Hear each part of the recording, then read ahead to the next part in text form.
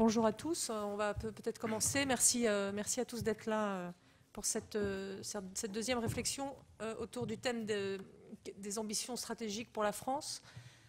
Comme vous le savez tous, on est dans une période, on achève une période de réflexion et d'arbitrage sur ces questions-là, puisque le livre blanc euh, va être officiellement euh, remis au président de la République dans quelques jours et qu'une loi de programmation militaire est en cours de, définition.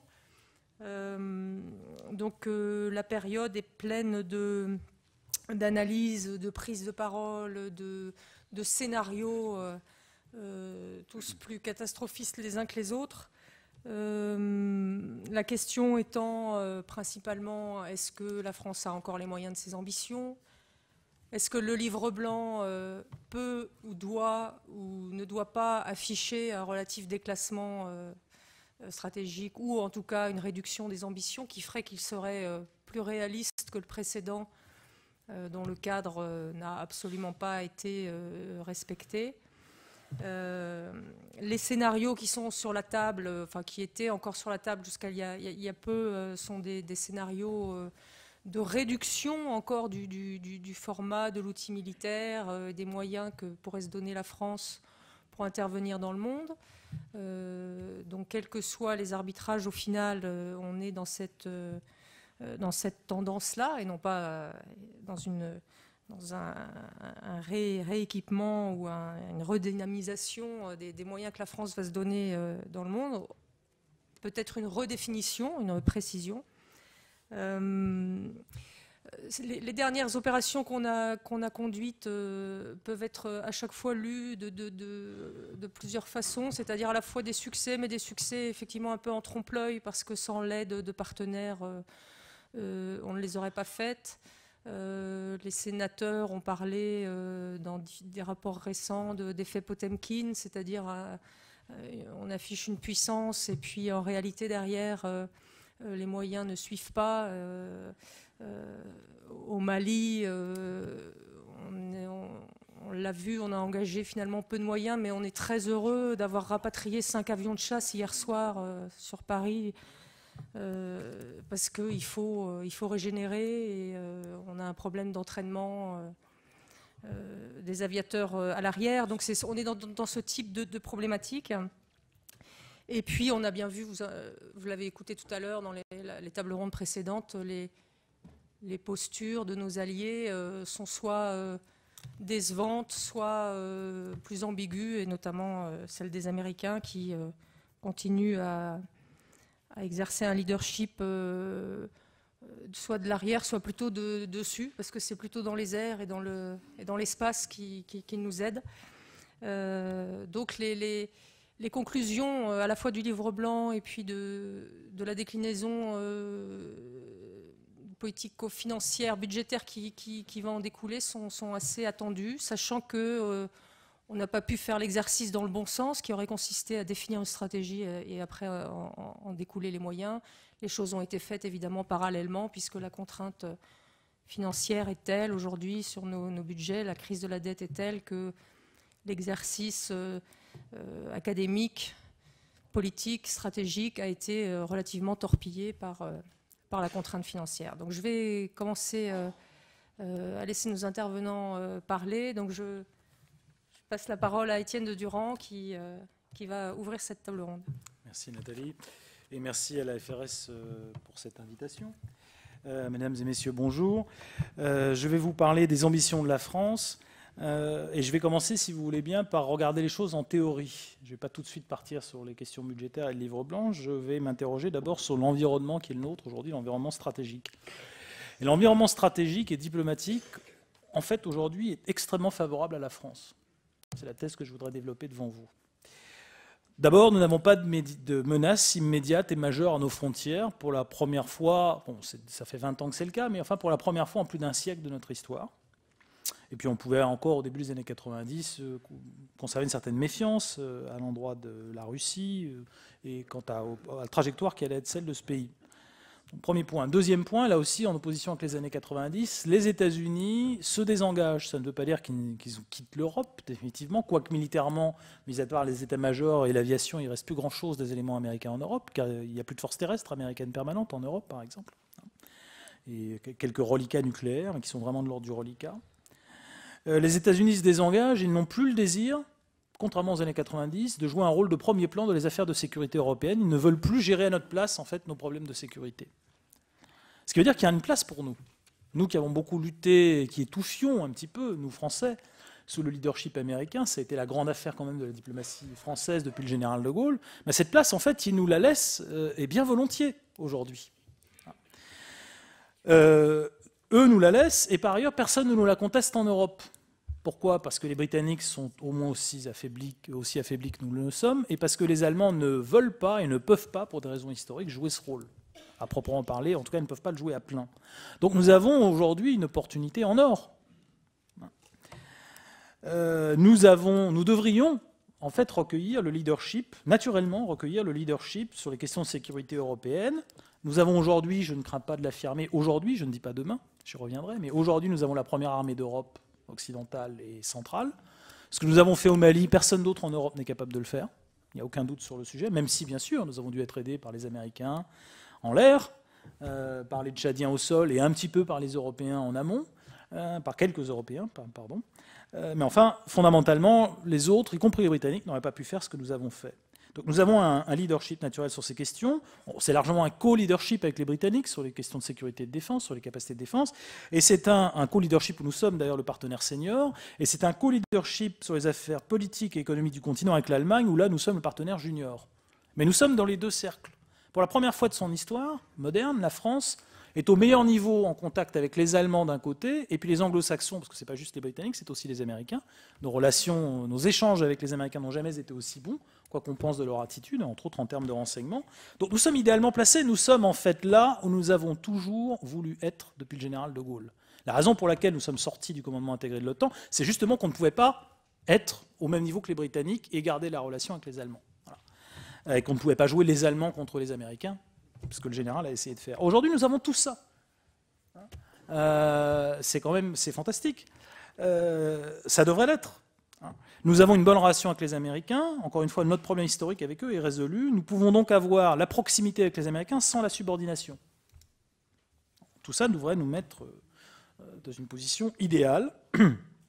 Ce qui veut donc dire que nous devrions assumer un rôle central euh, dans les affaires de sécurité européenne. Et les affaires de sécurité européenne, euh, c'est large. Ça comprend bien sûr l'Europe elle-même, mais ça comprend l'Afrique de l'Ouest aujourd'hui, la bande sahélienne, ça comprend l'Afrique du Nord et la Méditerranée, ça comprend le Proche-Orient, ça comprend au premier chef la frontière, la longue frontière orientale de l'Europe, du Grand Nord jusqu'à la Turquie. Hein, donc c'est quand même très considérable, sans même aller chercher au-delà. Donc voilà, ce que devraient être les ambitions de la France, et c'est ce qu'on va trouver très probablement formulé d'une manière ou d'une autre dans le livre blanc, ce sera cette géographie-là, qui va en gros de l'Afrique centrale jusqu'au Grand Nord. c'est euh, déjà, très ambitieux. Qu'est-ce qui est exclu? Sont exclus d'abord l'Extrême-Orient, hein, l'Asie orientale, probablement aussi l'Asie centrale, il y a plus grand goût, je pense, pour euh, l'Afghanistan, au moins pour une génération, et puis l'Amérique latine, qui est l'éternel oublié. Euh, c'est pas très grave d'ailleurs, parce que c'est une région qui stratégiquement est périphérique. C'est la géographie qui commande, c'est comme ça. Voilà. Donc on peut juger qu'on sera en retrait peut-être dans le prochain livre blanc par rapport au livre blanc de 2008 qui lui parlait beaucoup de l'Asie, mais la réalité c'est que nous n'avions pas en 2008 et nous aurons encore moins dans les années qui viennent de toute façon des moyens, des moyens militaires sérieux euh, par rapport à l'Asie si l'on accepte euh, le renseignement stratégique, donc les satellites et euh, bien sûr les armes nucléaires. Voilà. Donc nous devrions déjà pouvoir gérer, enfin participer au premier chef à la gestion de cet environnement, ce qui est déjà très ambitieux, et nous devrions le faire d'autant plus que c'est notre avantage politique comparatif au sein de l'Europe, et en particulier de la relation compliquée aujourd'hui avec les Allemands. S'il y a bien une chose qu'eux ne peuvent pas et ne veulent pas faire, c'est cela. Et c'est quelque chose que nous, nous voudrions faire et nous devrions faire. Donc nous sommes aujourd'hui euh, à la charnière, en fait, euh, euh, des questions de sécurité européenne. Alors, deuxième moment de mon propos, le problème c'est que nous sommes également à la charnière des questions économiques européennes. Et nous sommes sur le point de devenir l'homme malade de l'Europe. Et si nous devenons très malades, c'est toute l'Europe qui va basculer avec nous, y compris l'Allemagne. C'est là, bien sûr, la limite de la première partie du raisonnement. La situation économique est très mauvaise, vous le savez, et la situation budgétaire est également très mauvaise et elle n'est pas maîtrisée. Bien. Alors, je ne, vais pas parler devant vous d'économie, ce n'est pas du tout mon domaine et je ne suis pas compétent. Je voudrais en revanche me concentrer un petit peu, quelques, quelques minutes, sur la situation qui est celle du budget de la défense. Euh, bien sûr, durablement, on ne conçoit pas euh, un appareil de défense et une posture de défense crédible avec une économie qui ne tourne pas. C'est tout à fait impossible.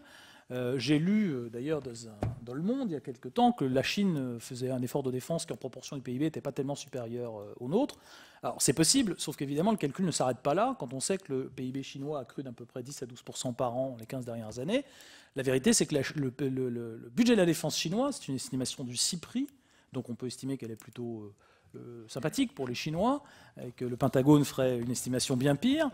Euh, donc le CIPRI estime que les dépenses de défense chinoises ont augmenté de 189% entre 2000 et 2010.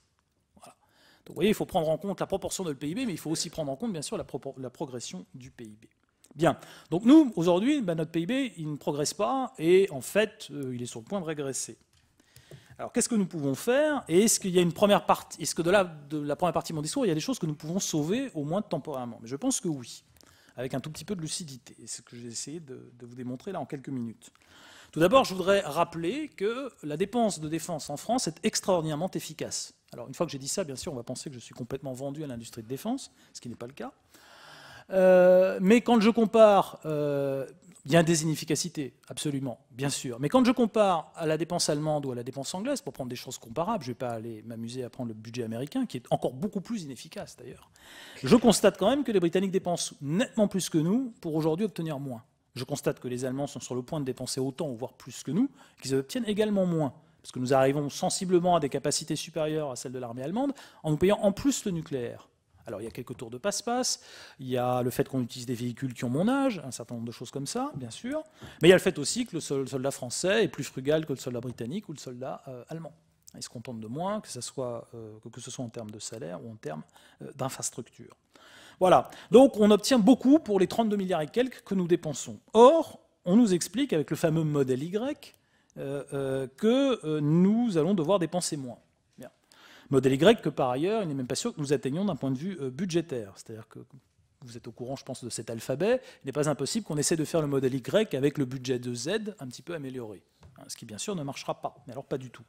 Alors, moi, je voudrais rappeler quelques chiffres évidents 32 milliards de budget de la défense sur 385 milliards de budget de l'État l'année dernière et sur 1185 milliards, n'est-ce pas, de euh, euh, dépenses publiques en France. Voilà, ça, c'est la réalité.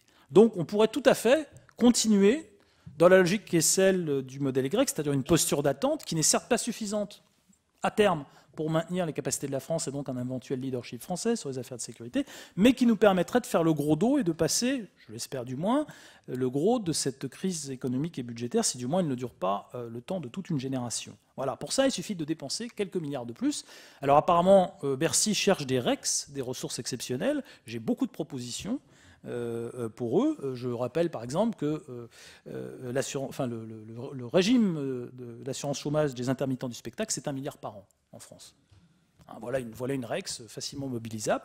Politiquement, c'est un petit peu délicat peut-être, mais c'est de l'argent qu'on peut mobiliser extrêmement facilement et qui servirait assez bien, ma foi, enfin qui viendra abonder avec beaucoup d'avantages le budget d'équipement du ministère de la Défense. Voilà. Donc, je vais conclure pour laisser la, parole au reste du panel. Euh, la situation économique de la France, le, point où nous en sommes aujourd'hui, c'est-à-dire une dépense à peu près 1,5% du PIB, si nous restons en croissance faible, de l'ordre de 1,5%, 1%, 1,5%, parfois 2%, de la décennie qui vient, il est clair que nous ne pourrons pas maintenir les ambitions de la France avec une dépense de défense hors pension de 1,5% du PIB. Or, nous allons passer à 1,3 avec le modèle Y. Hein, donc il faudra remonter.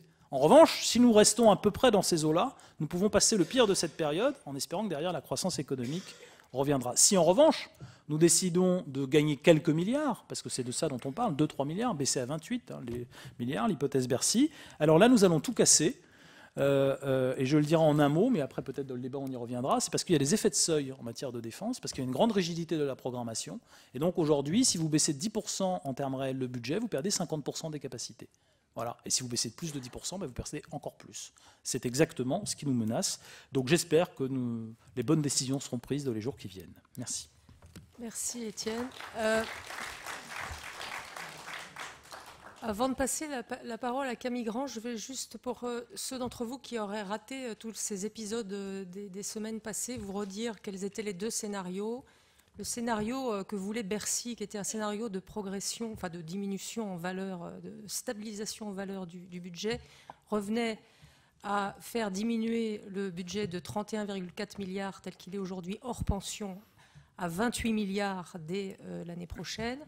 Euh, revenait en gros à supprimer à nouveau euh, entre 50 000 et, 100 000 emplois, revenait à diviser par deux tous les, tous les programmes. Euh, tous les formats d'armée, le nombre de, régiments restants de l'armée de terre, etc., et divisait tous les, équipements par deux. Le scénario Y, qui, qui, était défendu par le ministère de la Défense, euh, consistait à euh, euh, admettre un gel en valeur sur les deux prochaines annuités budgétaires, donc 31,4 milliards, puis à essayer de récupérer un petit peu une fois que, dans un espoir de retour à meilleure fortune, une fois que la croissance serait revenue à partir de 2015-2016. Mais c'est quand même un scénario qui prévoit 30, moins 35 000 suppressions d'emplois, la, baisse, comment dire, des cibles euh, d'équipements euh, tels qu'elles sont prévues pour les achats des grands programmes majeurs divisés par deux euh, et des, équipements globalement divisés de 30%, de, diminués de 30%. Ce scénario est normalement celui qui a été arbitré par le président le 28 mars, sachant que ce, qui se joue là en ce moment, c'est euh, la réalisation budgétaire annuelle sur les cinq prochaines années de ce scénario, puisqu'il faut des recettes exceptionnelles pour le financer, euh, qu'elles soient euh, vente de participation d'État dans les entreprises ou toute autre solution que trouverait le gouvernement pour le financer si je peux ajouter un mot, en fait, dans, dans Y, il y avait une toute petite partie de ressources exceptionnelles et Bercy essaie de faire en sorte que les règles soient très importantes, ce qui revient à dire qu'en fait la trajectoire ne peut pas être tenue. Hein.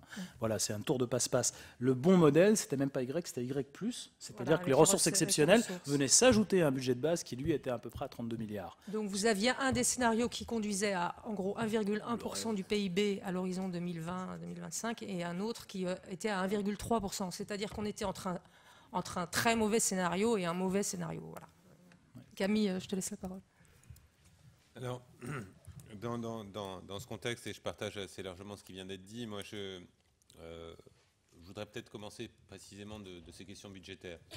Euh, finalement, on peut se poser la question de savoir s'il est souhaitable, raisonnable de dépenser 31 milliards d'euros pour notre défense dans le contexte stratégique actuel.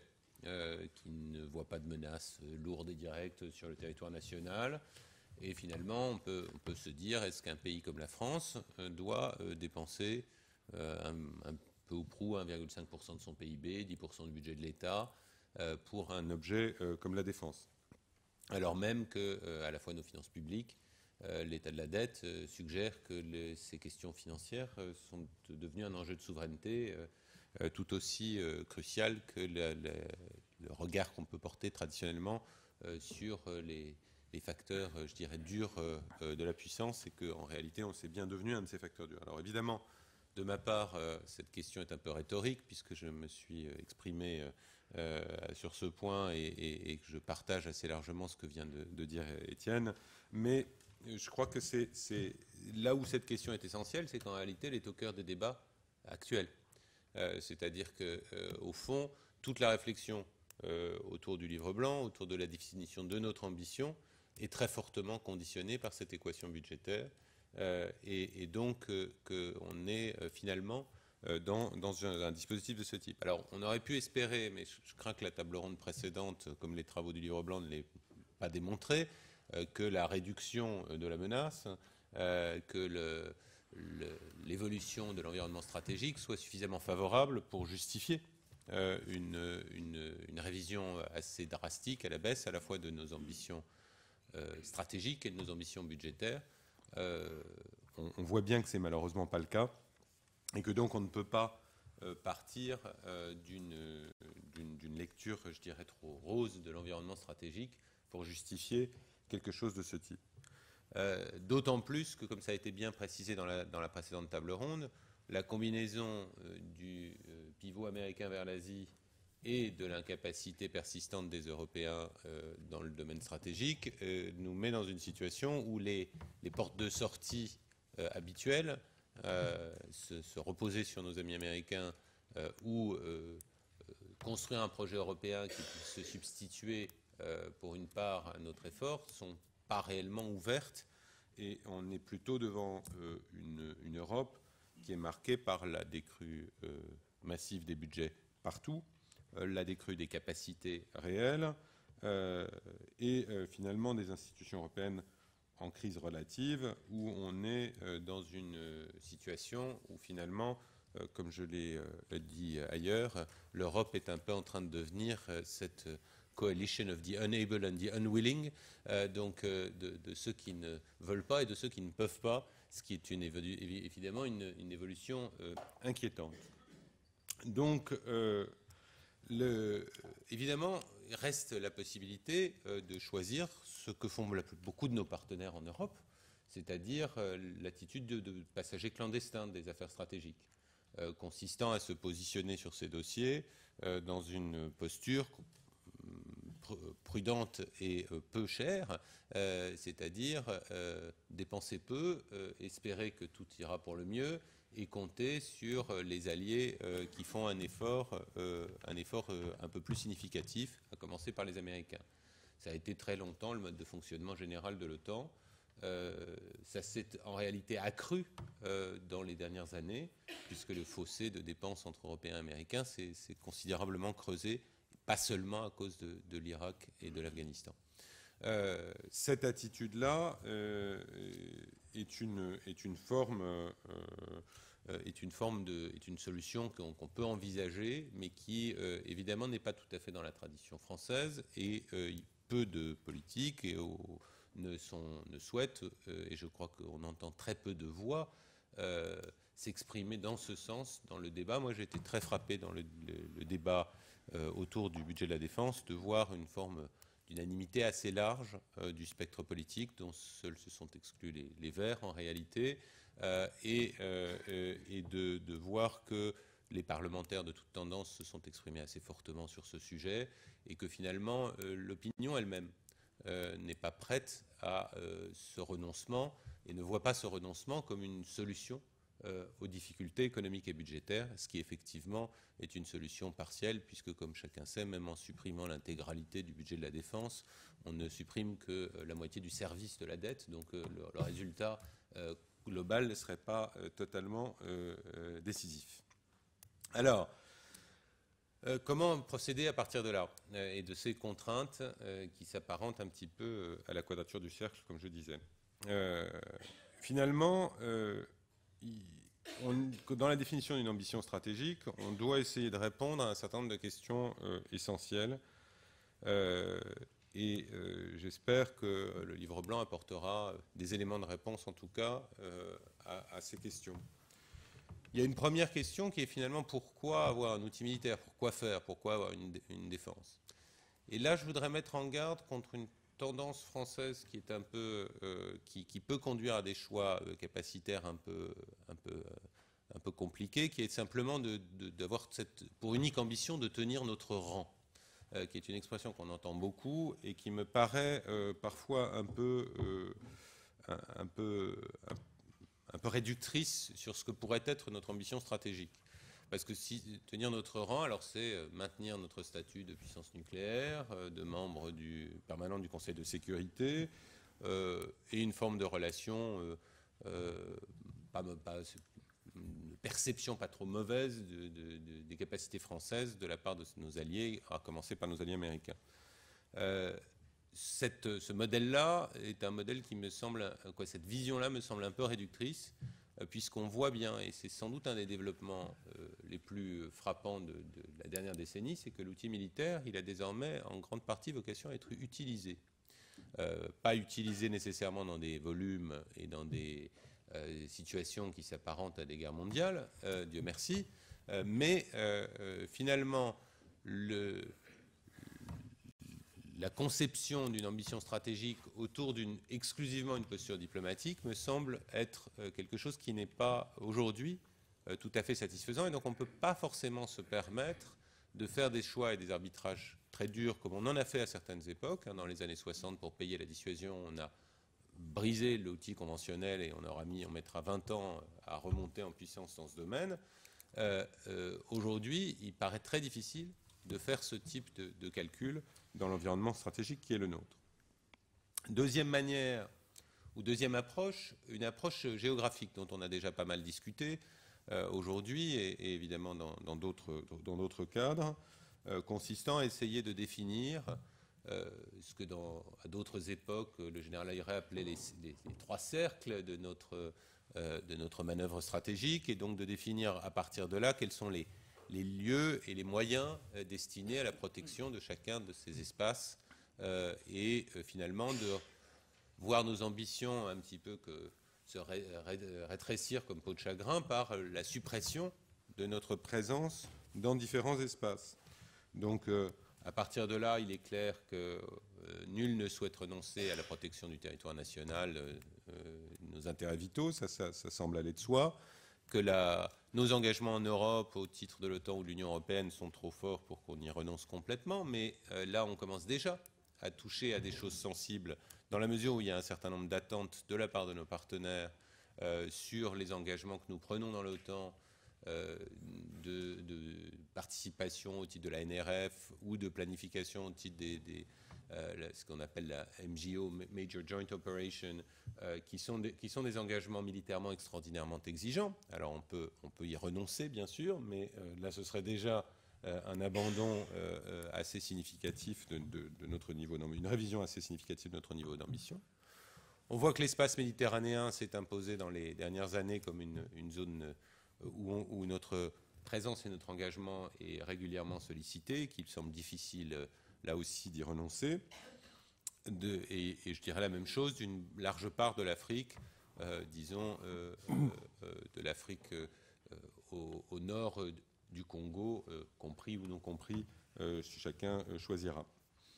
là où les choses se compliquent un petit peu, c'est quand on regarde le Moyen-Orient, où traditionnellement, d'abord on a pris des engagements de sécurité, hein, nous sommes liés par des engagements de sécurité avec les Émirats arabes unis, le Qatar, le Koweït, euh, et, euh, et d'autre part, nous avons évidemment des intérêts stratégiques en termes d'approvisionnement qui euh, peuvent se trouver mis en jeu par une crise dans la région, sans même parler d'une crise nucléaire majeure avec l'Iran, un dispositif dans lequel la circulation dans le détroit d'Ormuz serait bloquée pendant même quelques jours, est, ressort pour nous d'une crise stratégique majeure.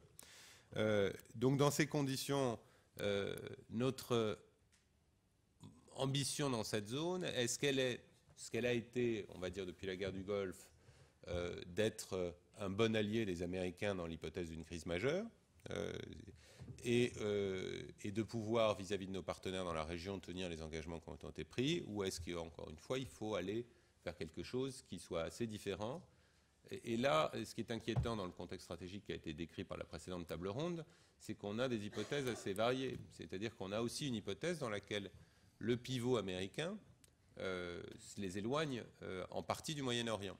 Et, euh, et, finalement dans laquelle on, s'en remettrait aux pays vraiment dépendants du pétrole du Golfe, c'est-à-dire aux Chinois et aux Indiens, pour défendre les voies maritimes là-dessus. Est-ce que c'est raisonnable? Pour la France et l'Europe de euh, choisir cette voie.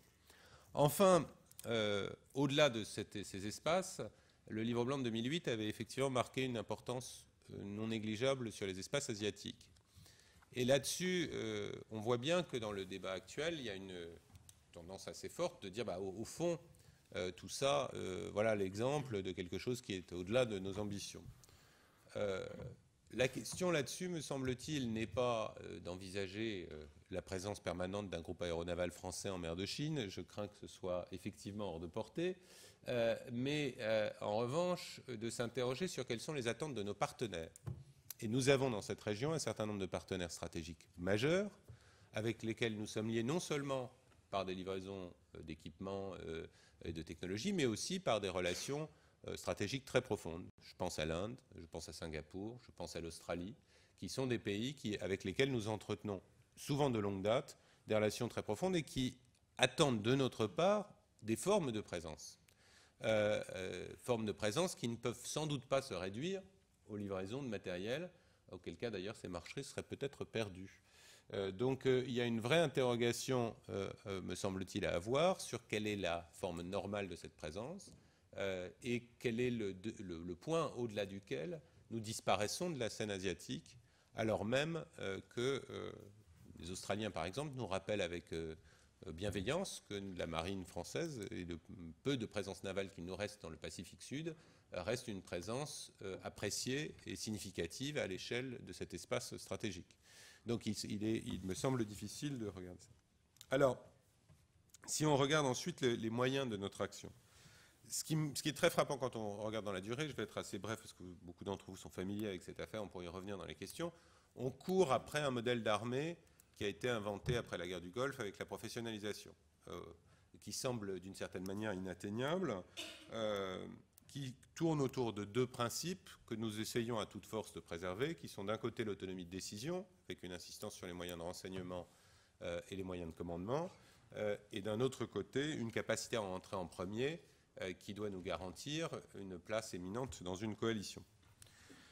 pour maintenir tout ça, évidemment, on voit un certain nombre de priorités se dessiner, qui peuvent être d'ordre capacitaire, avec la place des outils de renseignement tactique et stratégique, l'espace, les drones, euh, et les moyens euh, d'entrer euh, en, premier, comme les, outils de frappe à distance, missiles de croisière par exemple.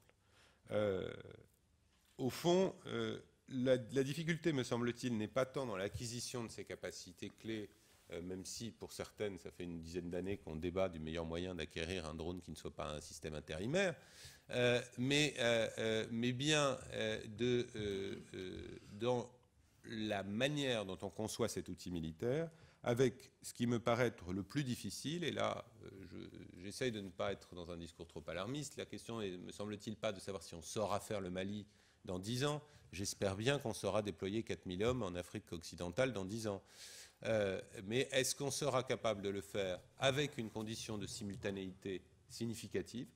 Et ça, c'est quelque chose qui me semble très lourd. Et là, à cet égard, je prendrai plus l'année euh, 2011 euh, que l'année 2013 comme référence, c'est-à-dire une année dans laquelle nous avions simultanément une présence militaire significative en Afghanistan, euh, une opération aérienne, mm, on peut dire majeure, en, Libye, même si ce n'était pas la bataille d'Angleterre, euh, et, où nous avons dû faire face, dans l'urgence, à la déstabilisation de la Côte d'Ivoire, tout en maintenant une présence sur une multitude de théâtres plus limitée.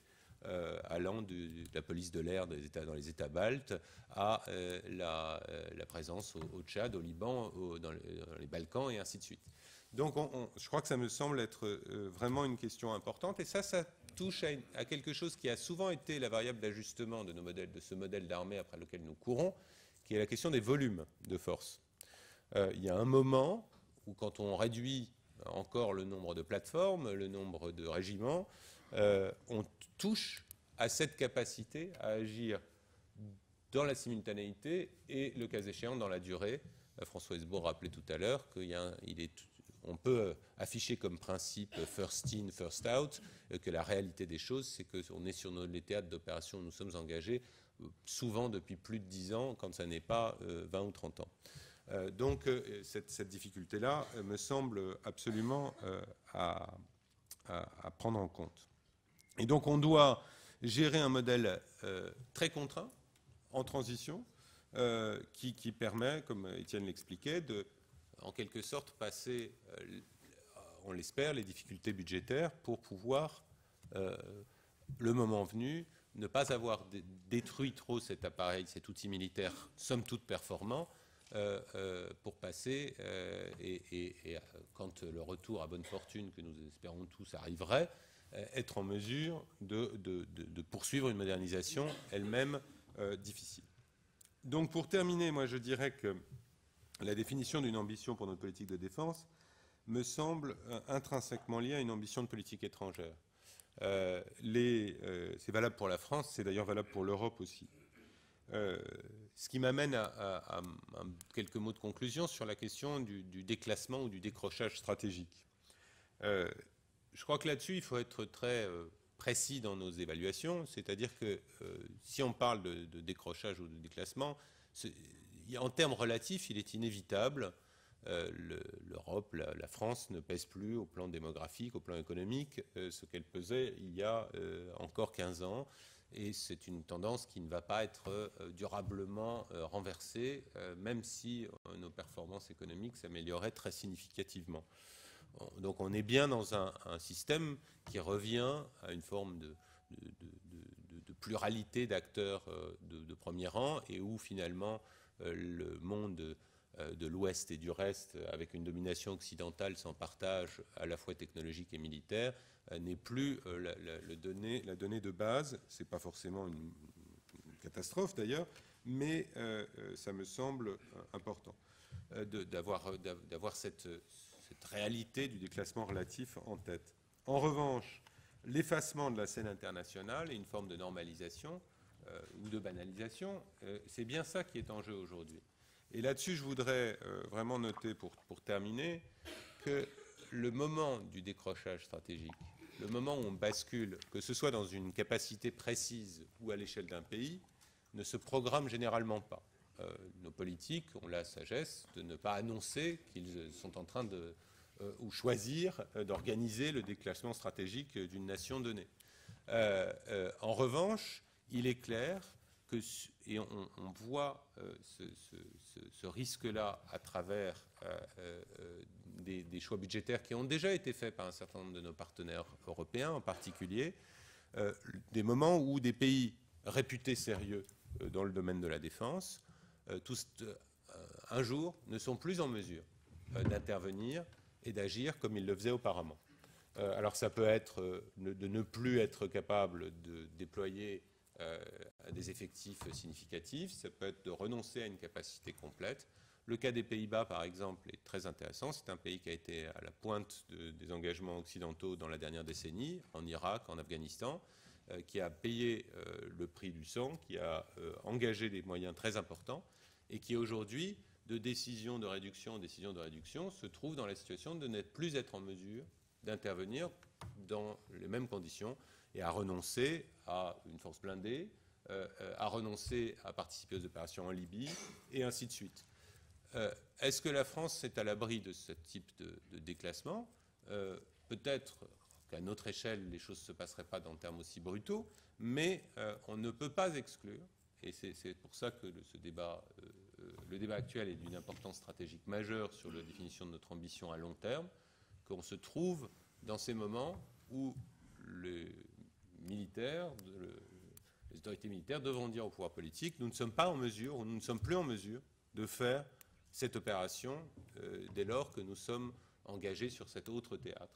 Nous ne sommes plus en mesure de maintenir une force blindée cohérente euh, euh, qui pourtant fait partie de la planification de l'Alliance Atlantique et ainsi de suite. Donc c'est ça pour moi l'enjeu du débat, c'est-à-dire de ne pas se trouver dans une situation dans laquelle d'évolution de, plus en plus marquée vers une armée bonsaï où on taille, on taille, on taille, on finisse par, avec ses capacités bonsaï, euh, passer, c'est un art euh, charmant qui, doit être préservé bien sûr, mais de passer à quelque chose qui soit d'une, où la givarisation de ces capacités euh, conduise à leur disparition de facto. Merci beaucoup.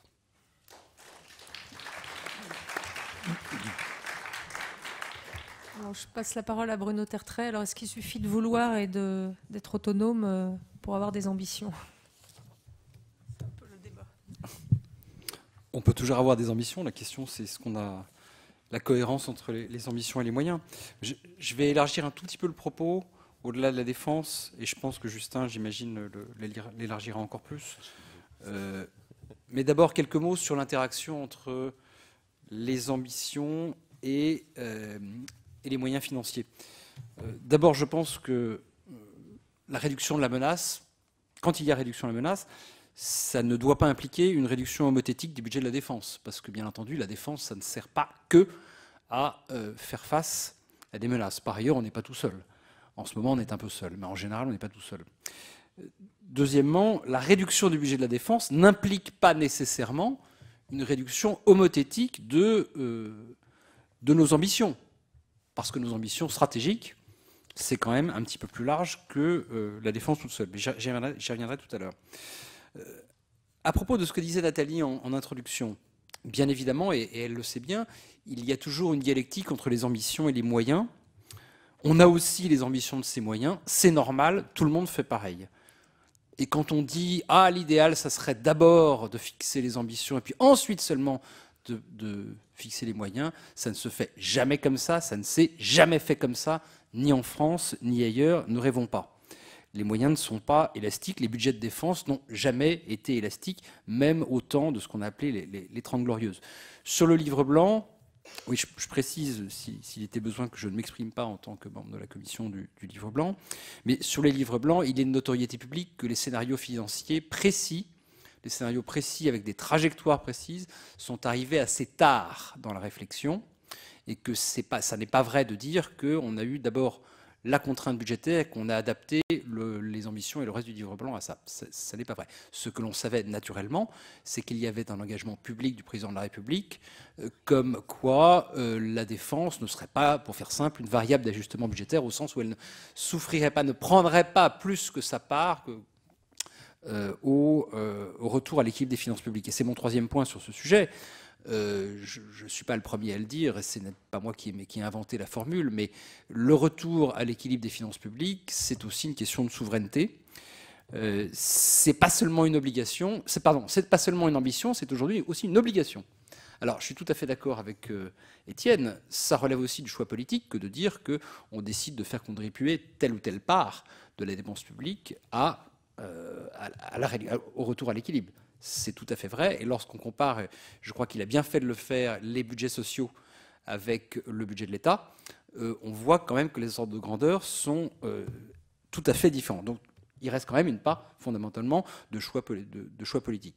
Je pense qu'il aurait été extrêmement difficile politiquement de sanctuariser totalement le budget de la défense, mais c'est un autre, un autre débat. Un mot sur la réaction française aux, aux ruptures stratégiques. Euh, juste pour prolonger un tout petit peu le débat de tout à l'heure, plutôt pour rebondir dessus, euh, je crois que trop souvent, on met un petit peu dans le même sac les surprises et les ruptures. Euh, les, surprises stratégiques et les ruptures stratégiques. Il y a des surprises qui ne sont pas des ruptures et des ruptures qui ne sont pas des surprises. La, crise financière est une surprise ou n'aurait pas dû être une surprise, mais ça sera sans doute une rupture les printemps arabes, ou ce le, phénomène qu'il est convenu d'appeler printemps arabes, sont probablement à la fois une surprise et une rupture. L'évolution de la stratégie américaine ne devrait pas être une surprise, mais sera peut-être une rupture, je n'en suis pas certain.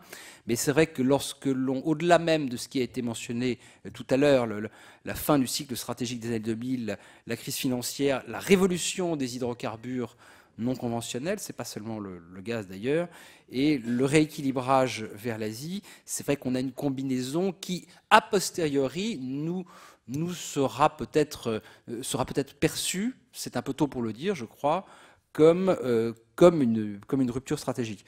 Je précise parce que l'actualité m'y incite, mais je disais déjà la même chose dans d'autres cercles il y, a, il y, a, trois mois, il y a six mois ou il y a un an, qu'il faut toujours faire attention, et je ne pense pas que Justin, qui connaît bien la politique américaine, me démentira, à l'extraordinaire réactivité euh, de la stratégie américaine, et qu'un événement soudain peut tout faire basculer. Rappelez-vous, encore une fois, ça a été dit tout à l'heure, je crois, que le 10 septembre, euh, le mouvement général, c'était euh, une politique de défense et de sécurité qui s'adresse d'abord et avant tout aux grandes puissances, à la Chine et à la Russie, et à l'Asie de manière, de, manière plus générale.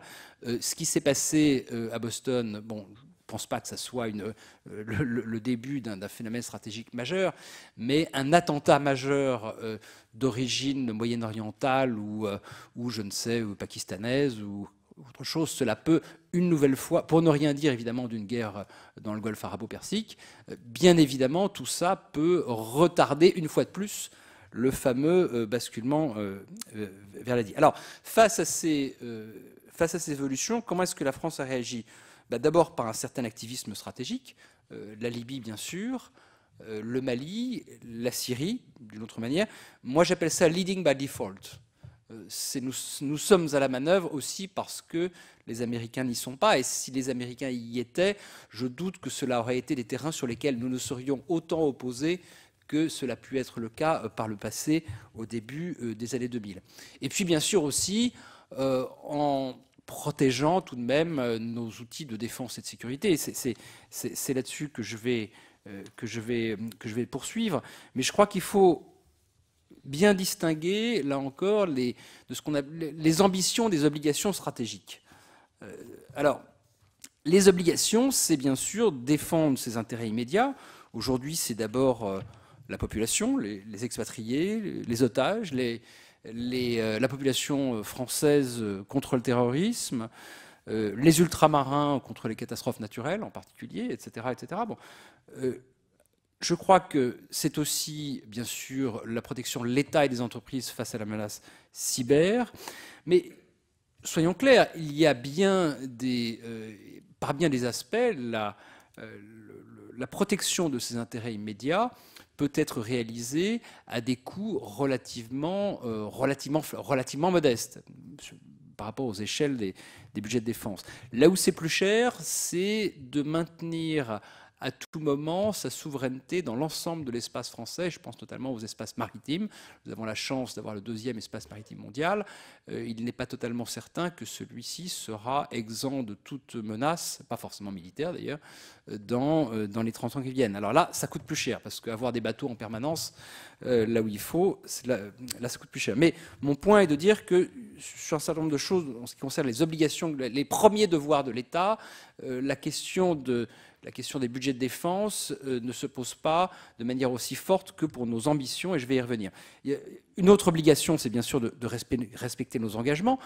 Euh, nos engagements au titre du Conseil de sécurité, au titre de l'OTAN et au titre d'autres traités comme le, TNP par exemple, ce sont des engagements que l'on peut respecter, là encore, euh, avec avec une certaine marge de, manœuvre, à partir du moment, et je pense que je suis certain que ça sera encore le cas, où nous respectons les contrats les plus dimensionnants, qui sont ceux euh, de la NRF, les contrats de la NATO Response Force, euh, et je suis absolument certain que ça sera, ça sera encore le cas.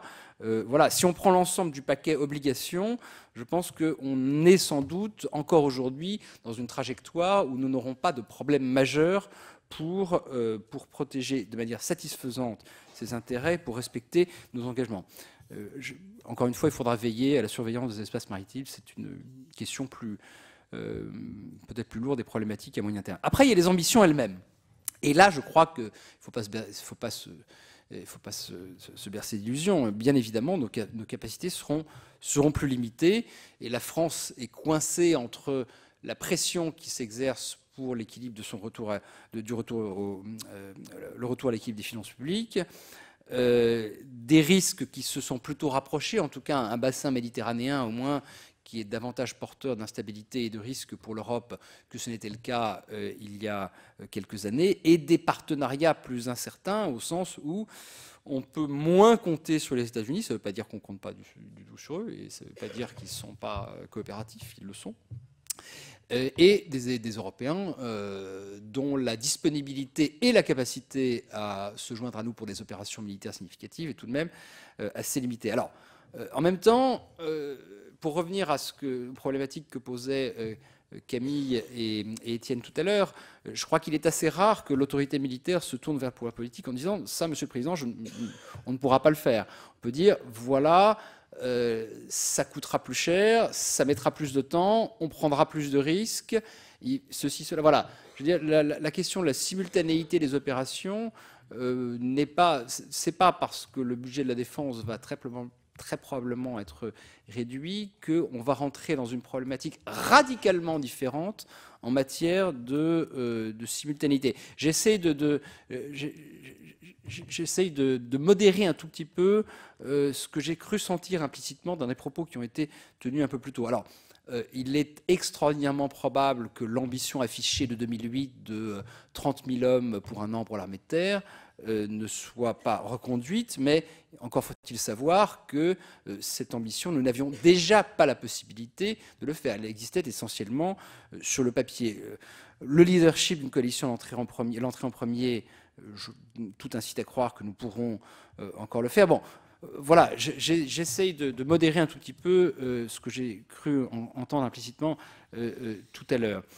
en revanche, il y a des vraies questions, c'est vrai, sur l'Asie, mais sur l'Asie, nous avons tous nous sommes nombreux à penser que l'Europe ne s'intéresse pas suffisamment à l'Asie sur le plan stratégique. Camille en a parlé. Nous sommes, dans un monde interdépendant. Toute grave crise en Asie intéresserait immédiatement l'Europe qu'elle le veuille ou non, comment nous assurer que nous aurons encore, nous Européens, nous Français, un minimum de capacité à savoir d'abord et, à, peser ensuite. Je précise que je ne suis pas d'accord avec euh, euh, mon amie et collègue, l'excellente Alexandra de Hopscheffer, lorsqu'elle suggère qu'il devrait y avoir une sorte de division du travail entre euh, les Américains et les Européens. Alors ça, beaucoup de gens en rêvent depuis 15 ans, hein, donc ça, c'est pas une idée, Alexandra le sait très bien, mais elle a raison de dire que c'est un problème qui peut se poser, une question qui se pose plus naturellement aujourd'hui que ce n'était le cas euh, il, y a, euh, il y a quelques années.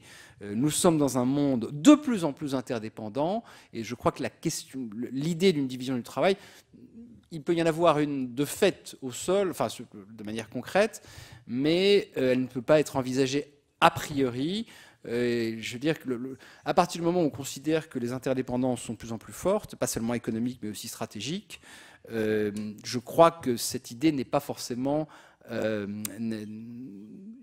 a peut-être moins de sens qu'elle n'aurait pu en avoir il y a il y a il y a 10 ou 15 ans. Il n'empêche que l'Europe et la France en particulier, même avec des réductions budgétaires, pourra encore avoir un minimum de, de d'intérêt marqué, de, moyens de marquer son intérêt pour cette région. Euh, je disais tout à l'heure qu'on pouvait faire un certain nombre de choses à, coût relativement modeste. Euh, le, contre-terrorisme, c'est quand même essentiellement du renseignement, un effort de police et de justice. La protection contre le cyber, c'est pas tout ça n'est pas euh, aussi coûteux que des grandes opérations militaires majeures qui s'étalent sur une décennie. Pour l'Asie la, combinaison du renseignement et de la dissuasion euh, me paraît être déjà une combinaison honorable. Un point d'interrogation quand même, là encore je reviens à, la question de la présence maritime permanente. Là je crois que c'est une vraie interrogation, personnellement, qui me, euh, préoccupe. Quant à la projection, nous n'avons jamais eu, euh, enfin à l'époque moderne, nous n'avons pas eu, jamais eu d'ambition de projection militaire majeure, en tout cas de, fort volume de contingents euh, terrestres, quand bien même, et nous avons été peu nombreux à le rappeler au cours des 20 dernières années, mais aujourd'hui, je crois que tout le monde le sait, nous avons encore un, nous avons encore un engagement de sécurité sur la péninsule coréenne. Ça ne veut pas dire qu'on est engagé par, principe à euh, déployer, euh, déployer des, forts volumes de force dans, cette région. Donc voilà, je, dresse un tableau un peu, un peu en demi-teinte.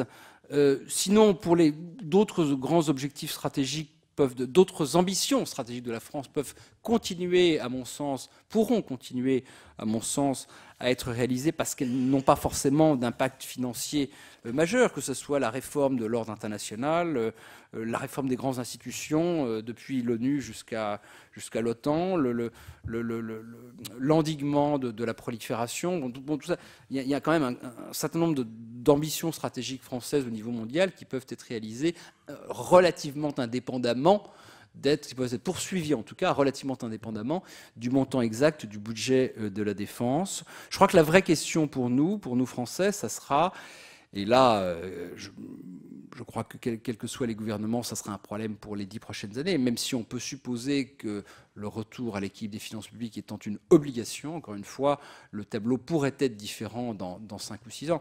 Je le répète, c'est pas simplement dire on attend des jours meilleurs, c'est dire on est obligé d'avoir euh, d'avoir des jours meilleurs, en tout cas du point de la situation strictement budgétaire. Mais là, quand même, la vraie question, c'est finalement jusqu'où promouvoir nos valeurs.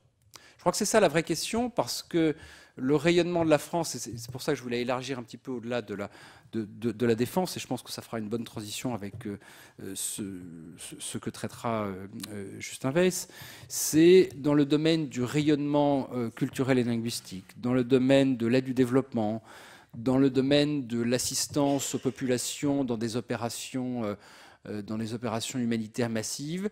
Je crains que là, nous n'aurons probablement pas la possibilité, au moins pour quelques années, de, de faire aussi bien que nous, pourrions le, le souhaiter. Donc voilà, un, tableau en demi-teinte.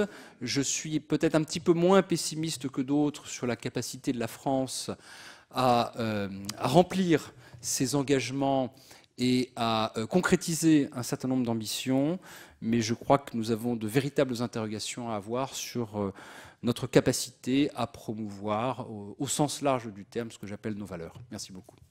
Merci Bruno.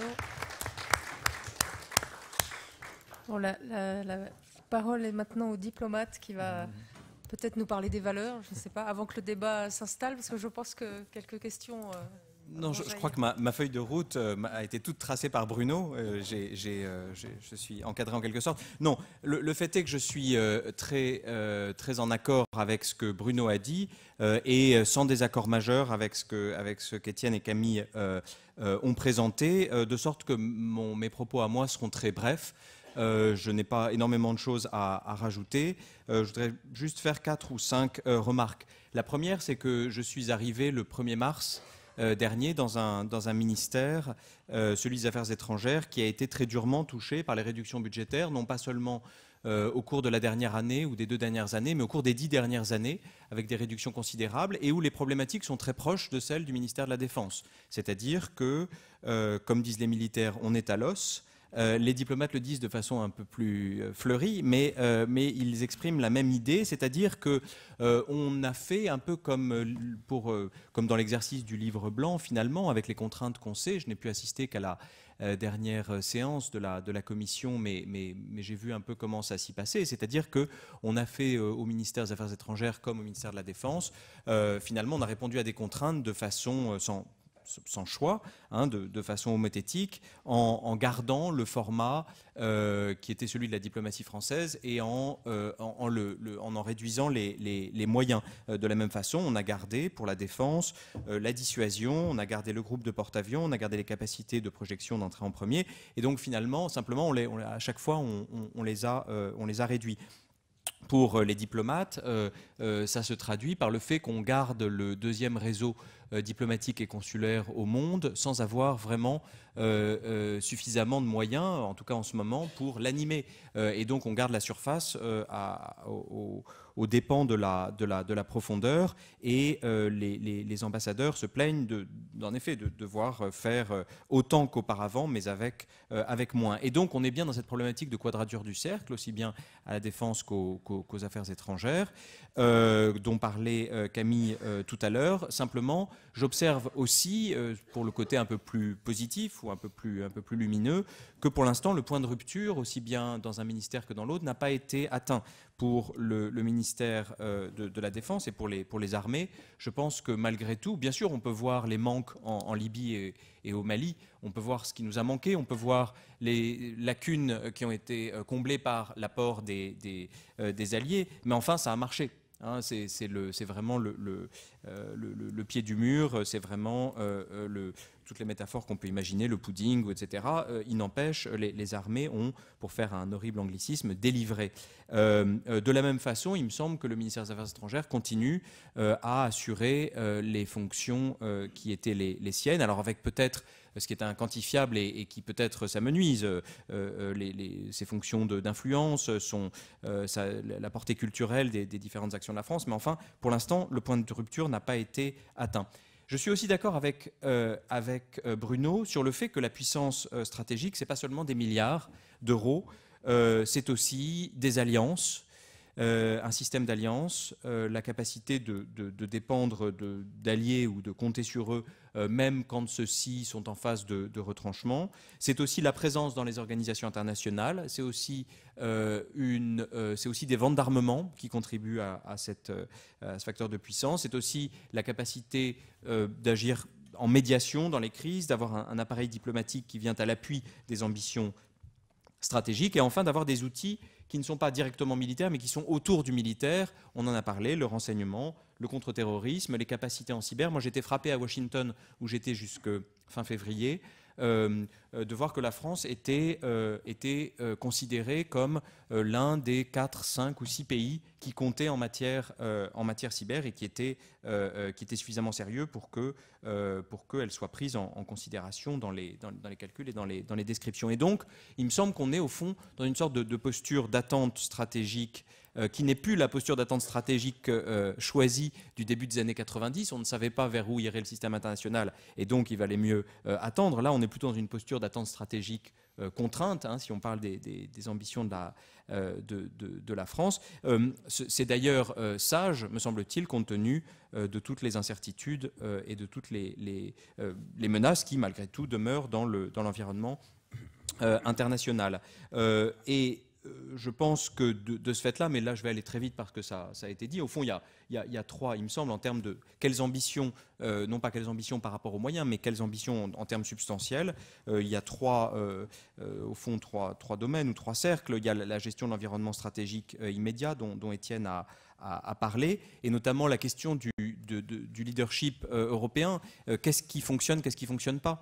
Euh, Je suis très en accord avec ce qu'Étienne a dit sur le fait qu'au fond, ça y est, on a atteint ce qu'on voulait. Moi, j'étais très frappé il y a deux ans, pendant l'opération en Libye, par le fait que, euh, que, beaucoup se disaient euh, c'est la catastrophe, les Américains peut-être ne vont pas aller avec nous. Et, j'avais l'impression que c'était au contraire la culmination, ou plutôt la réponse enfin à ce qu'on avait demandé, en tout cas nous Français, pendant tant d'années, euh, d'avoir davantage de, de, responsabilités. Alors évidemment, évidemment après, on n'a pas forcément été suivi autant qu'on le souhaitait par, par, nos, par nos partenaires européens, mais il me semble que la grande question en termes d'ambition stratégique, c'est comment parvenir à mobiliser euh, les Européens autrement que par des imprécations. Hein, on a vu euh, finalement, on est dans la même situation que les Américains qui pendant tant d'années ont demandé aux Européens d'en faire plus en termes de budget de la défense. Hein, dès les années 70, euh, pour ceux qui ont, vécu ça ou qui ont étudié ça, pour ma part, les, demandes et les jérémiades américaines sur l'insuffisance des, budgets de la défense, même au moment de la nouvelle guerre froide, à la fin des années 70 et au début des années 80, ça ne marche pas très bien. en l'absence d'une menace stratégique claire, et encore il y en avait une à l'époque, il n'y en a pas vraiment maintenant, c'est très difficile de le mobiliser. Mais une des ambitions stratégiques de la France, ça devrait être de euh, réfléchir à la, façon euh, justement de, réorganiser cette, défense européenne, euh, compte tenu du relatif essoufflement des formes, en tout cas des formats qui ont été privilégiés au cours des 10 ou 15 dernières années. par exemple, l'idée d'avoir un, quartier un général opérationnel, un OHQ, euh, me semble, euh, enfin maintenant me, semblait très bonne au début des années 2000, au moment où on était en ascension, où la politique européenne de sécurité et de défense était en phase de croissance et où c'était euh, simplement logique d'avoir également cet attribut-là de la puissance. il me semble que maintenant, compte tenu des contraintes budgétaires, ça me paraîtrait davantage un gaspillage qu'autre chose. Et, donc, il y, a, à mon avis, des formes à repenser. Deuxième horizon, nos intérêts et nos alliances, notamment au Moyen-Orient, les, les accords de défense qu'il faut honorer et il faut euh, se demander si c'est encore possible. Encore une fois, je pars du postulat que le point de rupture n'a pas été euh, atteint, euh, ni par les affaires étrangères, ni par la défense, mais simplement, il faut évidemment veiller, si on a encore 5 ou 6 ans de, très mauvaise santé économique, il faudra réfléchir à la question de savoir si on peut, de façon réaliste, honorer tous ces accords de défense. Et puis enfin, l'horizon lointain, et alors là, je rejoins complètement ce qu'a dit Bruno sur l'Asie et l'Asie orientale. À, mon avis, il y a deux horizons lointains. Il y a, il y a la mer en général, les voies maritimes, il y a euh, la piraterie dans le, dans le, euh, en mer Rouge et, au, large de la Somalie. Euh, en général, il y a les détroits, il y a la, protection de notre zone maritime, d'une part, donc le maritime, et puis il y a l'Asie de l'Est. Et là, simplement pour rajouter deux ou trois points, je pense que, en effet, enfin, Bruno l'a dit, le monde est interdépendant, et s'il y a, et on sait bien que maintenant le, le, centre de gravité stratégique est en train de basculer, il est encore autour de l'Iran, de la Syrie et du Moyen-Orient. Il est en train de basculer vers l'Asie de l'Est, que les tensions y montent, qu'on n'est pas très par certains aspects, c'est un peu l'Europe en, en, 1913, hein, l'Asie orientale en 2013, par certains aspects, pas, tous, euh, et que euh, à présent, les budgets de défense asiatiques sont plus élevés que les budgets de défense euh, européens, et que donc s'il y a une conflagration, ou même des tensions très fortes, la France ne pourra pas s'en désintéresser parce qu'elle est au Conseil de sécurité des Nations Unies qu'elle aura à se, euh, à se prononcer, parce qu'elle a des communautés françaises qui sont croissantes dans la région et assez, assez rapidement euh, croissantes, parce qu'elle euh, y vend 42% à peu près en 2012 de ses, de ses, de ses ventes d'armes, de, de, ses, de, ses, armements, parce qu'il y a des questions de prolifération nucléaire et autres, et qu'on ne peut pas s'en désintéresser. Et là, j'ai le même remède ou, disons la même réponse que, Bruno. Il ne s'agit pas d'augmenter euh, les ressources, de toute façon c'est impossible, mais simplement de mieux utiliser ou de mieux valoriser ce qu'on a et d'être présent, encore une fois, conformément à cette espèce de posture d'attente en Asie de l'Est, dans les forums qui comptent, euh, à l'ARF, peut-être à l'ADMM+, un jour, euh, parce, que, euh, parce que, encore une fois, on ne peut pas s'en désintéresser et que si les Européens baissent largement les bras sur ces questions-là, il me semble qu'il faut qu'il y ait au moins quelques Européens et, la France qui, qui, qui reste présent. Et d'ailleurs, la présence de Jean-Yves Le Drian euh, au dialogue de Shangri-La l'an dernier, sa présence au dialogue de Shangri-La cette année, début juin, je pense, est la marque euh, que euh, même en ces temps de disette, même en ces temps difficiles, on ne peut pas complètement s'en désintéresser. C'est, à mon avis, le, le troisième horizon de l'ambition stratégique de la France. Je m'arrêterai là. Merci.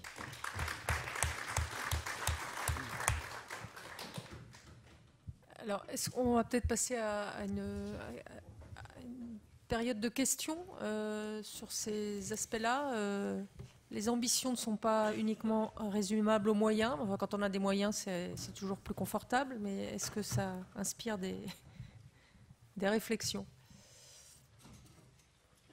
Monsieur là.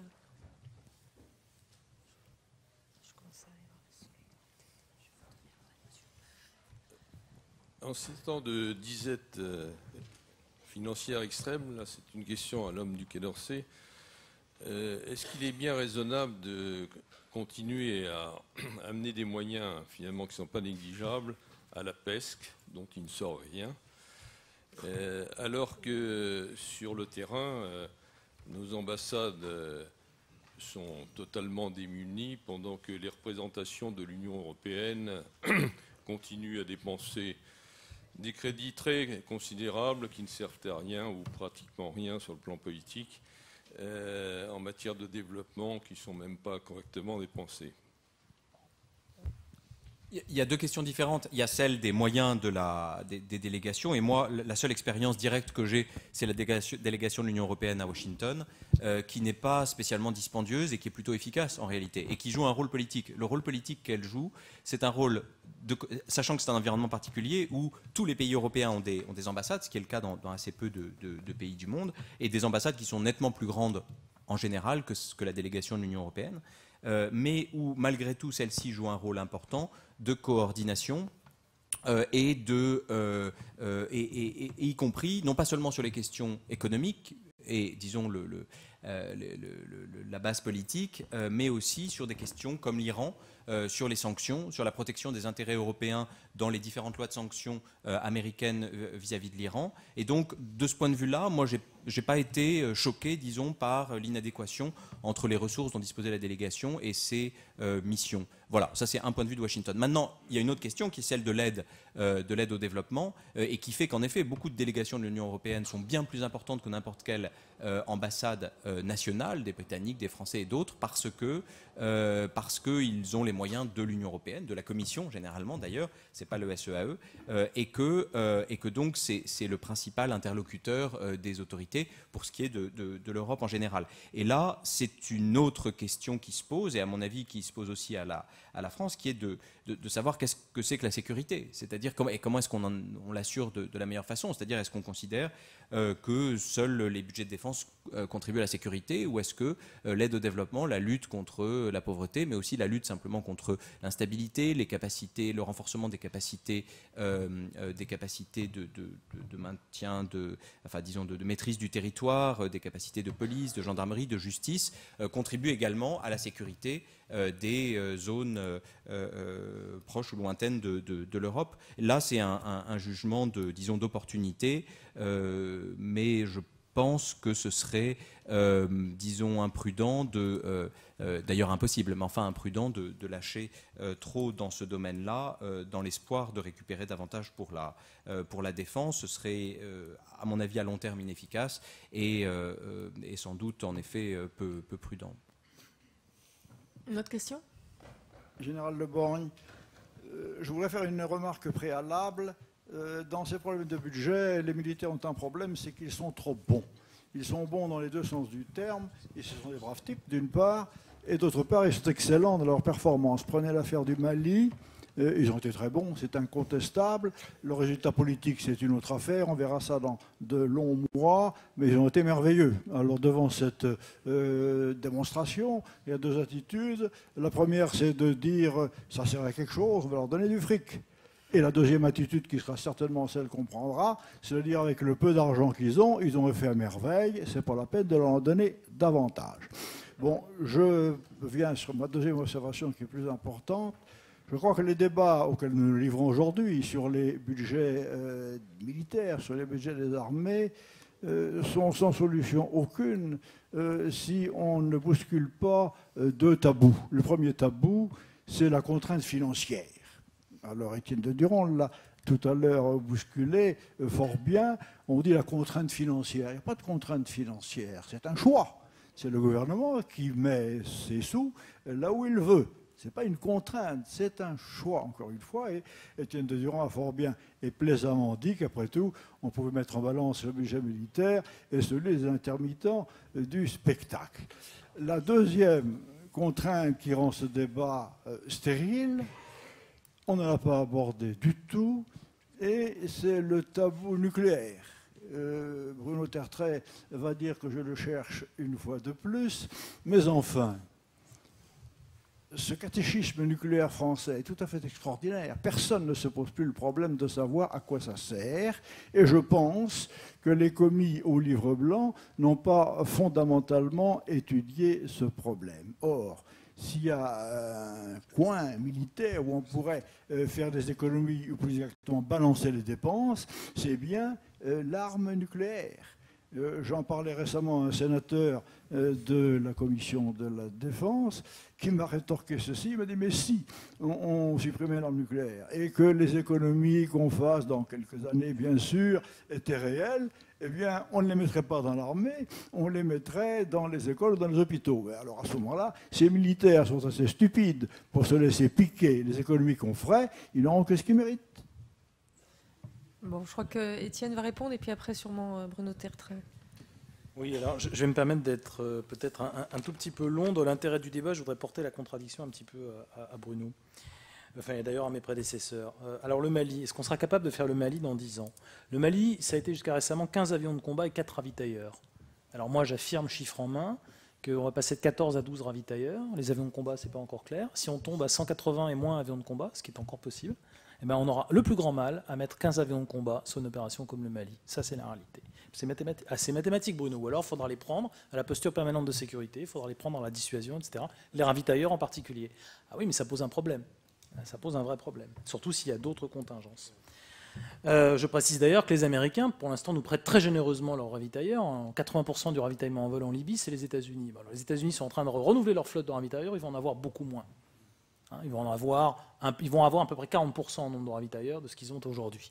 Donc, alors ils les nouveaux ravitailleurs seront plus capables, etc. Mais aucun armement, aucun système d'armes, jusqu'à preuve du contraire, n'a le don d'ubiquité. Hein. donc, s'il y, a 60% de ravitailleurs en moins qui sont dédiés à l'Asie, à un certain nombre de missions prioritaires comme le nucléaire, ben, ils ne seront pas disponibles pour la Libye euh, ou des choses comme, comme ça que les Américains considèrent comme complètement secondaires. Alors, heureusement, il y a le ATC, mais enfin, euh, c'est des raisonnements qui ont leurs limites. Le, ATC, c'est l'European euh, Transport Command, donc c'est le fait de grouper avec les Allemands, les, Belges et quelques autres les, moyens de transport de, ravitaillement en vol. Ça fonctionne pas mal, mais ça aura, ses limites. Euh, est-ce qu'on souscrit à nos obligations? Eh Bien, c'est très limite. On va voir les décisions qui vont être prises, Bruno. Aujourd'hui, en Europe centrale et occidentale, il reste effective, je ne parle pas nominal, effective, 15 brigades blindées. Voilà, 15 brigades blindées. Vous tenez à peu près 200 km de front, sous le contrôle général de Borg. Hein. C'est les chiffres de l'OTAN.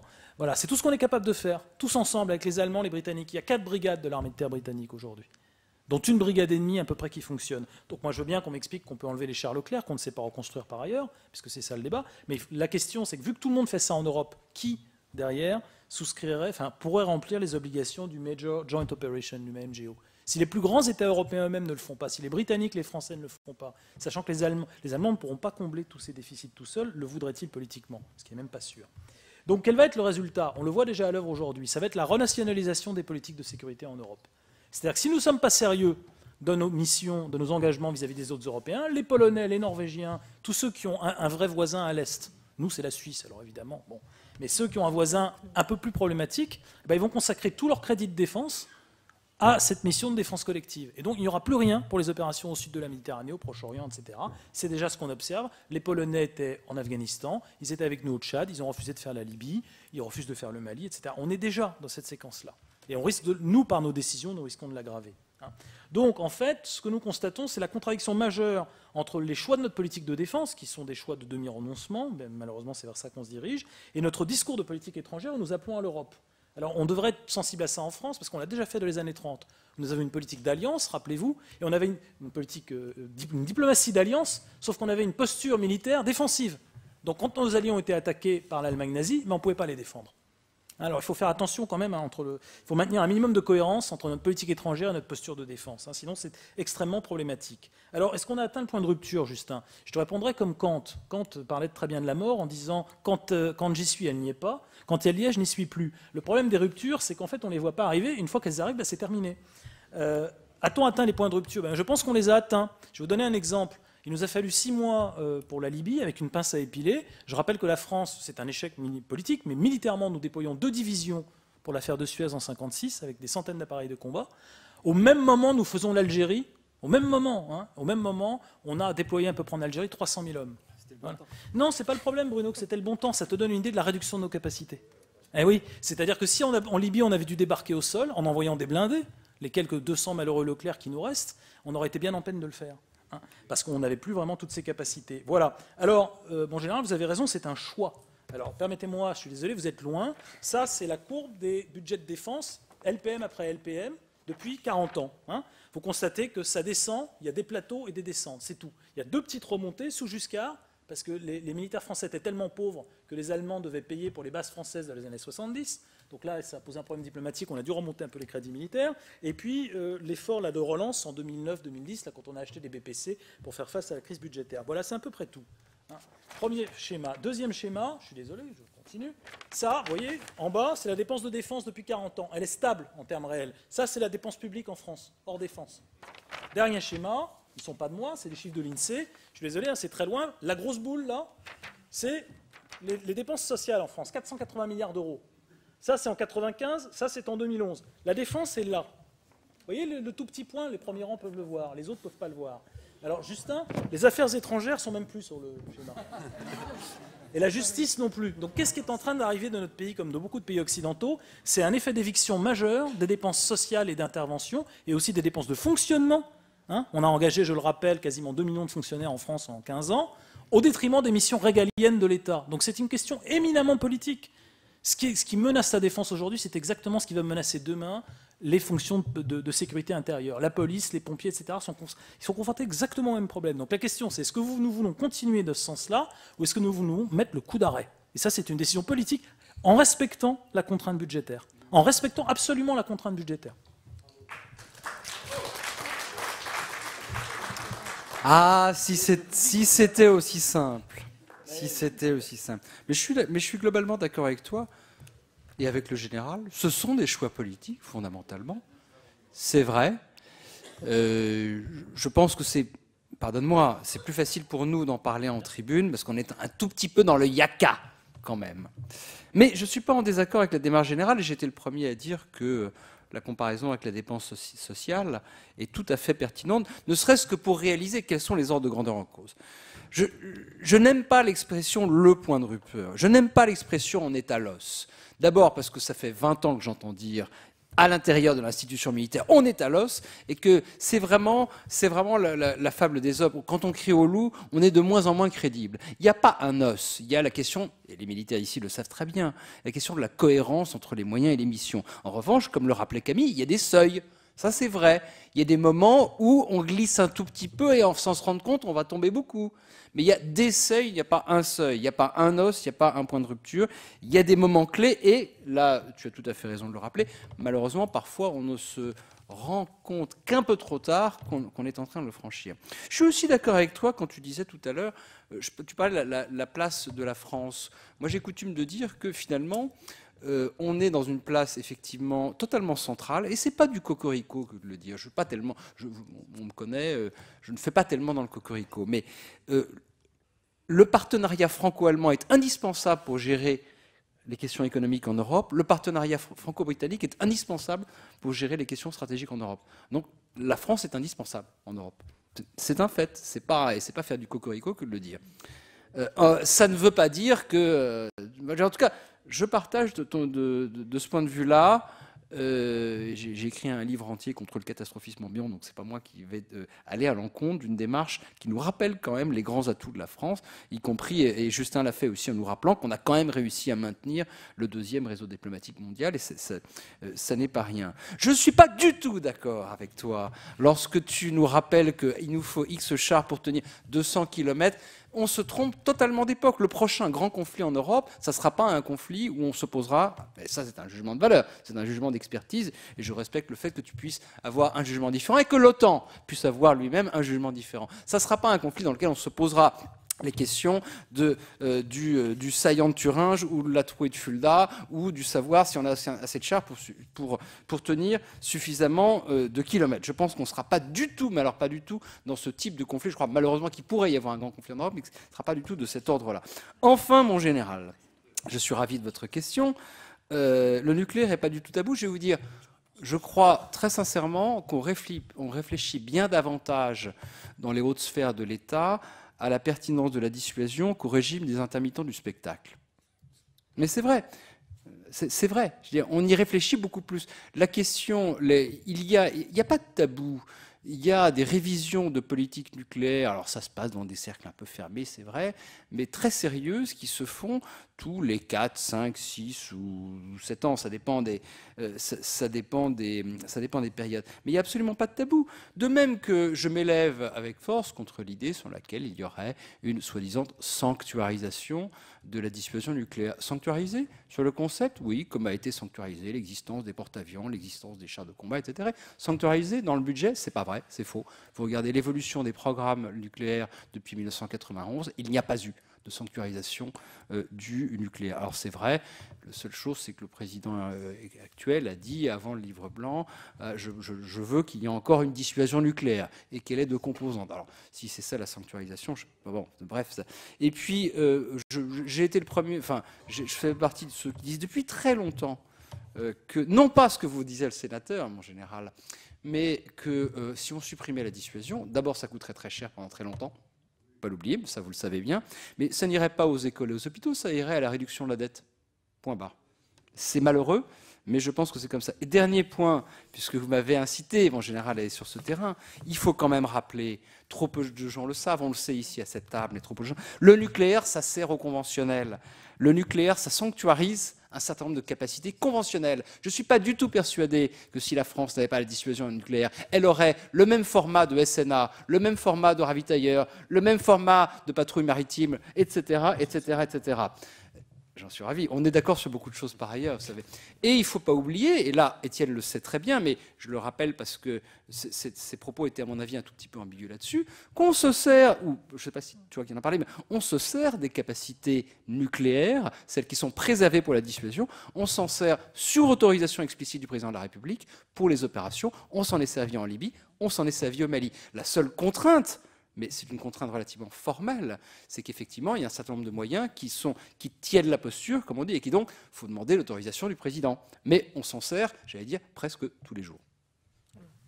Camille euh, deux, petits, petits, éléments euh, de, pour poursuivre le débat et euh, là-dessus. sur la question nucléaire, moi je qu'il faut avoir en tête là aussi les réalités budgétaires. Hein.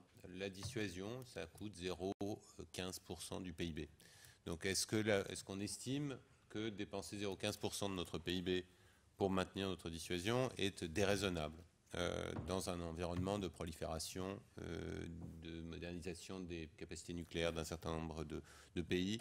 Ça me semble pas être quelque chose qui est euh, euh, ni hors de portée, ni, euh, ni, strictement déraisonnable. Et je crois effectivement que la dissuasion a fait l'objet de pas mal euh, de, restrictions, de réductions, de révisions, et, est encore sous tension aujourd'hui, hein, on, le sent bien. Donc on, est dans quelque chose qui est extraordinairement tendu, y compris sur le nucléaire. la seule difficulté avec le nucléaire, et ça c'est vrai, euh, c'est, qui est très exigeante, c'est la question de la permanence. Est-ce qu'on peut avoir des intermittents du spectacle On ne peut pas avoir d'intermittents de la dissuasion. C'est-à-dire qu'une dissuasion à éclipse, là pour le coup, ça deviendrait assez, assez, absurde d'avoir une dissuasion qui, soit, euh, qui, fonctionne un jour sur deux, un jour sur trois, etc. C'est le problème, et c'est là que je reviens sur cette question de point de rupture. Oui, là-dessus. La question peut se poser. Et, par exemple, nos amis britanniques, dans leur programmation, en faisant le choix d'avoir trois SNLE, se mettent dans cette situation euh, d'être soumis aux fortunes de mer, aux risques, euh, euh, etc. Et, que si un, bateau, même sans catastrophe majeure, était indisponible pendant une durée longue, le principe d'une dissuasion permanente et d'une mission qui se doit d'être permanente deviendrait intenable dans leur cas. C'est une des raisons pour lesquelles on maintient les deux composantes, etc. Je ne vais pas vous, infliger l'ensemble du raisonnement que vous connaissez sans doute. Sur sur les questions, euh, moi, là, je, vais faire un, débat intra-FRS avec Bruno euh, sur, les, Je crois qu'il faut, sur les questions, par exemple, de char, ne pas tomber, ça c'est un peu une tentation, euh, dans des caricatures en disant euh, on a notre armée de guerre froide, etc. On a 240. Non, non, mais, non, non, mais 258 chars. J'aime les chars. J'aime les chars à toutes fins utiles. Je dis ça pour pour pas me perdre des copains. Euh, le char est quelque, le char lourd, quelque chose de, qui peut être extrêmement utile. Exactement. Donc point point d'armée. Dans d'autres scénarios que ceux de la guerre froide, la trouée de Fulda et du saillant de Turin. Plus, plus sérieusement, dans ce débat-là, la réalité, c'est que ces réductions massives des capacités blindées en Europe ont déjà eu lieu.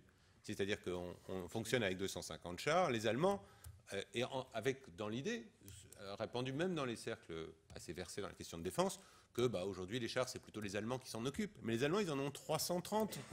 C'est-à-dire que l'époque où la Bundeswehr alignait 4000 chars qui s'occupaient des questions de trouée de Fulda, elle n'est plus là aujourd'hui. Euh, comme je disais tout à l'heure, les Néerlandais n'ont plus de chars du tout. Euh, les Britanniques n'ont plus qu'une euh, brigade euh, vaguement blindée et, sont, dans, des, formats. Donc c'est là, c'est là que je parle d'effet bonsaï. Et par rapport au, point, cette, je crois que c'est vraiment le, cœur du débat sur cette question du point de rupture. Il me semble, et, ce que Justin, à juste titre, rappelait que ça pouvait s'appliquer à, la manœuvre diplomatique plus générale, c'est-à-dire le moment où on a un ambassadeur euh, seul qui n'a aucun moyen de fonctionnement, euh, la, valeur d'avoir le deuxième réseau diplomatique au monde devient assez, euh, limitée. même si c'est un modèle qu'on peut développer. Hein. les, Britanniques ont inventé d'ailleurs le concept de l'ambassadeur avec une liaison Internet et, un téléphone portable sécurisé. Mais jusqu'à un certain point. et donc, dans, ce dispositif-là, je crois qu'il faut, sur les questions de rupture, avoir en tête, et je pense que la question du moment où on dira qu'on ne sait plus faire n'est pas une question strictement rhétorique. C'est-à-dire qu'on peut se trouver dans des situations où face à une crise donnée, comme un certain nombre de nos partenaires, je veux dire euh, les pays, des pays comme l'Italie ou l'Espagne, qui étaient des pays qui ont participé à la plupart des opérations militaires de l'OTAN à des niveaux significatifs depuis la fin de la guerre froide, ont décidé au milieu de la Libye de rapatrier leur matériel parce qu'ils n'avaient plus d'argent. Alors, on peut dire que si c'était la guerre mondiale, euh, la question ne se poserait pas en ces termes-là, mais on, est devant ce, type de choix. Et donc, je pense, et c'est là-dessus que moi j'insiste dans le débat franco-français, qu'il faut avoir ce risque en tête. Euh, les décisions esquissées par le président de la République dans son interview, le premier arbitrage, montrent qu'il a une conscience tout à fait euh, précise de la nécessité de, puisque on, trouve qu'on est dans un dispositif où le budget de la défense euh, est euh, non pas sanctuarisé au sens, ne euh, fait pas partie des budgets prioritaires, mais est maintenu à niveau, ce qui est mieux que la trajectoire générale du budget de l'État. Donc on peut considérer que c'est une victoire, et ça a été célébré comme tel à, juste titre. cela dit, comme Nathalie le disait, on, a échappé à un très mauvais scénario, et comme moi je le dis de manière un peu plus crue, on est dans la situation du, mouton euh, tondu euh, qui, se félicite de ne pas se faire couper la tête, d'accord. Euh, mais en pratique, il y, a une vraie question sur cette question, du point de rupture, qui peut être sur des questions de niche, et ça se verra pas beaucoup. Et, ça, on n'est pas très loin, on le sent dans chacune des opérations, qui peut être sur une question beaucoup plus significative de ne simplement plus être en mesure de faire euh, les choses parce qu'on est arrivé, ce qui est déjà le cas en termes budgétaires, à un modèle que j'avais appelé ici, euh, dans, il y a quelques, quand on avait un débat autour de ces questions il y a, l'an dernier, l'Italie plus la bombe. Question. Pierre Asner.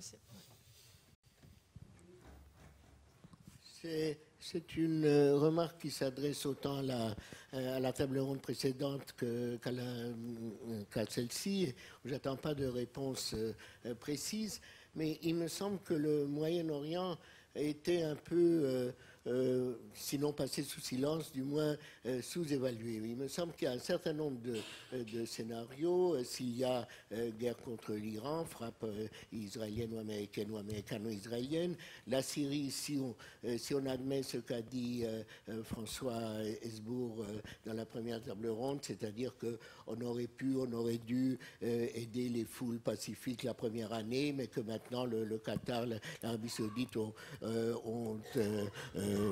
armés avec euh, n'importe quoi, y compris euh, les armes antiaériennes, les islamistes, les méchants, et que donc il n'y a plus rien à faire, il faut se tenir à l'écart quelles sont les probabilités victoire de, euh, de Bachir, Assad euh, ou euh, une Syrie islamiste, ça s'étend à la, Jordanie, au Liban. Enfin, il me semble que tout, il y a des hypothèses stratégiques où nous ne sommes pas aux premières loges comme pour, disons, le Maghreb ou ça, mais quand même qui nous concernent. Et ça, on n'a pas évoqué vraiment ça. Qu'est-ce que qu'est-ce qui pourrait être la réalité et quelles seraient les conséquences pour la France, sans parler de quel serait son rôle.